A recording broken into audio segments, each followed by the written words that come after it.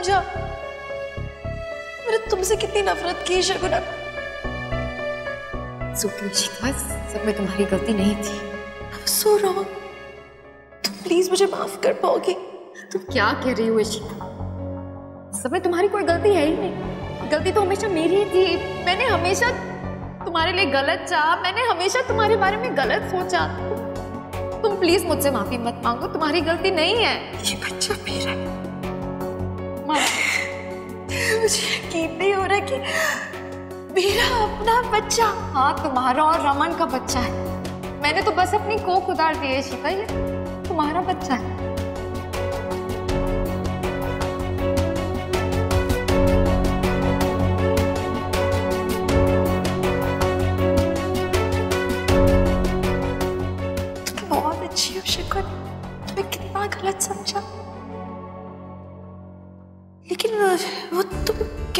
थी हमारे परिवार को?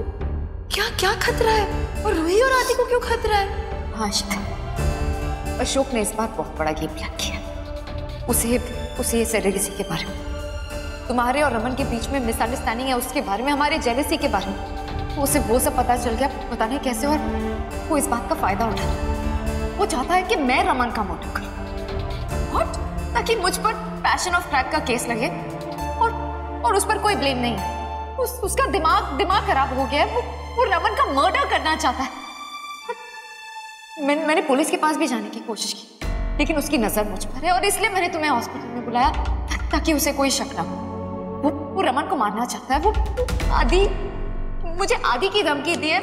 मुझे बहुत डर लग रहा है अगर उसने आदि कुछ नहीं होगा कुछ नहीं होगा। मैं जाऊँगी पुलिस के पास में। कुछ नहीं होगा। न रमन को ना आदि को।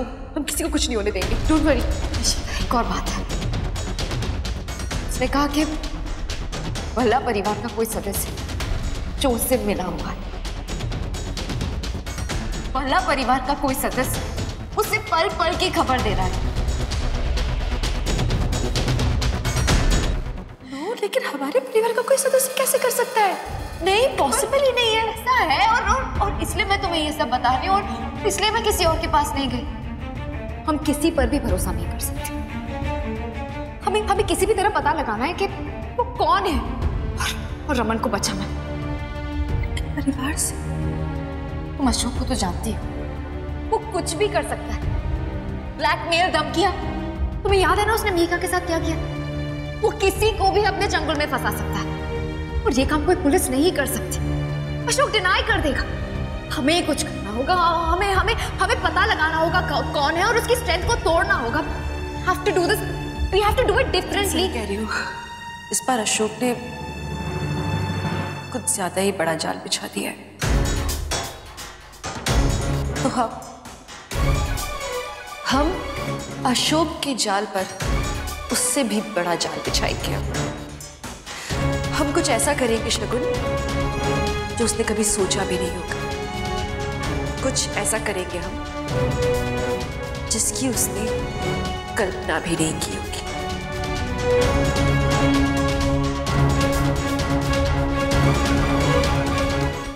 पहले हमें आदि को बचाना था और फिर रमन को। इसलिए हमने सोचा कि 24 घंटे में मैं ही गायब हो जाती ऐसे में अशोक का प्लान फेल हो जाएगा। पर यह भी डर था कि कहीं वो हमारे बच्चों को कुछ करना था। छिपना वॉज़ नॉट एन ऑप्शन इसलिए हमें कुछ बड़ा करना था। तो हमने सोचा कैसा हो अगर शगुन रहे ही नहीं? तो अशोक खन्ना का प्लान पूरा कौन करेगा? जाने को तो शगुन अमेरिका भी जा सकती थी। लेकिन नहीं, रूही आदि को उसके बाद में भी खतरा बना रहता। तो हमने सोचा कि क्यों ना हम अशोक खन्ना के सबसे बड़े हथियार शगुन को मार देते हैं। और फिर शुरू हुआ हमारा ये बड़ा सा प्लान स्मार्ट मूव लेकिन शगुन नहीं तो अशोक उस इंसान को भी रमन को मारने के लिए कह सकता है, जो अभी उसकी हेल्प कर रहा है। हाँ हाँ। हमने भी सोचा था। लेकिन अगर उसे बोलना होता तो बहुत पहले बोल दिया होता। वो शगुन का इस्तेमाल क्यों करता? डेफिनेटली जहाँ तक मैं अशोक खन्ना को जानती हूँ, उसे चाहिए था ड्रामा बहुत बड़ा ड्रामा सोचो कितनी बड़ी हेडलाइन बनती ना। शगुन, रमन की एक्स वाइफ ने रमन भल्ला का मर्डर कर दिया। This is what he wanted हमें अशोक खन्ना से दो कदम आगे रहना था। इसलिए कुछ ऐसा करना था कि किसी को कुछ समझ ही ना आए कि आखिर चल क्या रहा है। बहुत ही बड़ा ड्रामा क्रिएट किया हमने। दो बीवियों की घमासान लड़ाई। इतनी लड़ाई की शगुन ने जाके आत्महत्या कर ली। मेरे बच्चे को मार दिया। क्यों? रमन भल्ला और पूरे भल्ला परिवार से बदला लेने के लिए। काफ़ी कन्विंसिंग था वो ड्रामा हमारा मुद्दा ये था कि हमें अशोक खन्ना और पूरी दुनिया को यकीन दिलाना था कि शगुन मर गई है। ताकि वो शगुन को वापस इस्तेमाल ना करे। लेकिन एक और मुद्दा था। हमें बचाना था शगुन को पूरी दुनिया की नज़रों से। और साथ ही साथ हमें उस इंसान का पता लगाना था जो हमारे घर में बैठ के मेरे रमन को मारना चाह रहा था। वो बहुत ज़रूरी था। उसके लिए बहुत लोगों के अटेंशन डाइवर्ट करने थे। अशोक खन्ना का भरोसा जीतना था इस बात के लिए कि मैं शगुन बन गई हूँ। शगुन अगर घर के बाहर बैठकर चाहती भी तो भी कभी पता नहीं लगा सकती थी कि घर के अंदर का भेदी कौन है। इसलिए मैं बनी शगुन। और इतना कन्विंसिंगली शगुन लगना था मुझे कि अशोक मुझ पे भरोसा करने लगे। जो बातें वो शगुन से कह सकता था, वो बातें वो मुझसे करने लगे। और धीरे धीरे वो मुझे बता दे कि उसका कौन सा वफादार हमारे घर के अंदर बैठा है, जो उसकी मदद कर रहा है। क्या प्लान बनाया आप दोनों ने। मानना पड़ेगा। और इस प्लान को आगे एग्जीक्यूट करने में हमारी मदद की अभिषेक ने। हाँ जब इशिता जी ने मुझे प्लान बताया तो मैंने इनका साथ देने का फैसला किया। अब अशोक खन्ना को हम बिना सबूत के तो गिरफ़्तार कर नहीं सकते थे और हमें पता करना था कि ये फैमिली मेंबर कौन है और उसे रंगे हाथों पकड़ना था। तब तक हमें ये प्लान एग्जीक्यूट करना था। और फिर हमें ज़रूरत महसूस हुई तुम्हारी क्योंकि हमें ये प्रूव करना था कि इशिता जी में वाकई शगुन की आत्मा आ प्लान का एग्जीक्यूशन हमने जैसे डिसाइड किया था बिल्कुल वैसे के वैसे ही शुरू किया। शगुन और मैं हम दोनों ने तय किया था कि हम करेंगे दो बीवियों जैसी लड़ाई। हम दोनों ने बहुत लड़ाई की। मैंने प्रेगनेंसी से रिलेटेड बहुत भली बुरी बातें कही शगुन से। काश मेरा बच्चा किसी और कोख में होता। और जैसा कि डिसाइडेड था, शगुन ने भी मुझे उतने ही पलटवार किए। और हमें मालूम था कि मम्मी जी और अम्मा शगुन को छोड़ेंगे नहीं। और जैसा कि एक्सपेक्ट किया था, बहुत खरी खोटी सुनाई उन्होंने शगुन को। और नौ महीने तो क्या? मैं तनु नौ मिनट भी इस घर में नहीं देख सकती। रमन तो पागल हो गया है बच्चे के पीछे। पर मैं मैं तेरी एक एक रग पहचानती हूँ। तुम जैसी औरतें कभी नहीं बदलती शगुन। हो सकता है कि पटर्निटी रिपोर्ट में लिखा है कि वो रमन का बच्चा है। लेकिन हूँ तुमने वहाँ पे भी हेरा फेरी कर दी होगी। प्लान के मुताबिक शगुन ने हमें धमकी दी कि वो मेरा बच्चा मुझे कभी नहीं देगी और घर से निकल गई। ये कह के कि वो इसके बाद ज़िंदगी में मुझे कभी कहीं नज़र नहीं आएगी।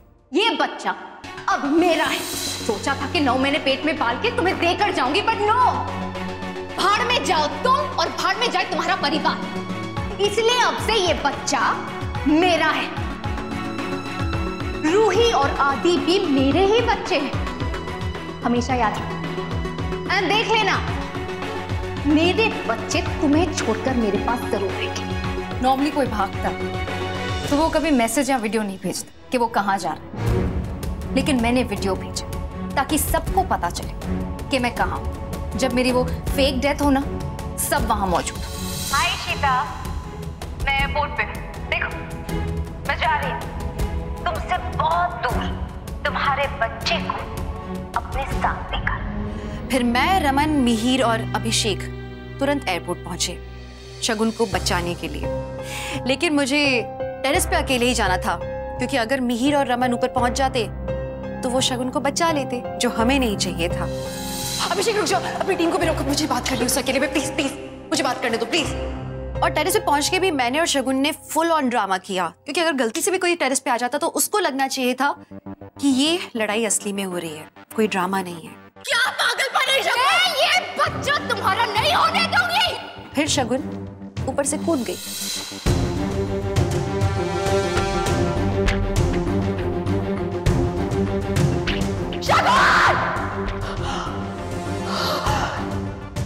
शगुन सिक्स फ्लोर से कूदी और हमने फिफ्थ फ्लोर पर नेट्स के साथ पूरा बंदोबस्त करके रखा हुआ था मेरी टीम वहाँ पर थी।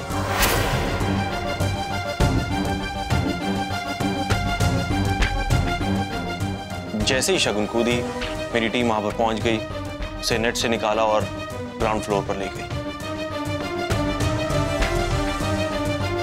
मैं भागकर नीचे पहुँची ताकि हम आगे का ड्रामा कंटिन्यू कर सके। मेरी ज़िम्मेदारी थी कि ऊपर से कोई भी नीचे ना देखे इसलिए शगुन के जंप करने के बाद मैंने किसी को भी टेरिस से झांकने नहीं दिया और इन्हें नीचे ले आया। जैसे ही रमन और मिहिर नीचे पहुँचे उन्हें वहाँ मिली शगुन की डेड बॉडी।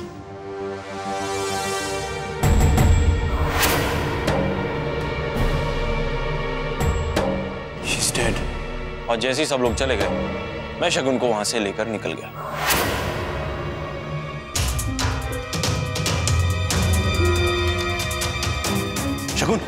शगुन उठो। सुनो देखो हम तुम्हें सेफ़ हॉस्पिटल लेके जा रहे हैं वहाँ पे तुम्हारा चेकअप होगा और तुम्हारे बच्चे का भी।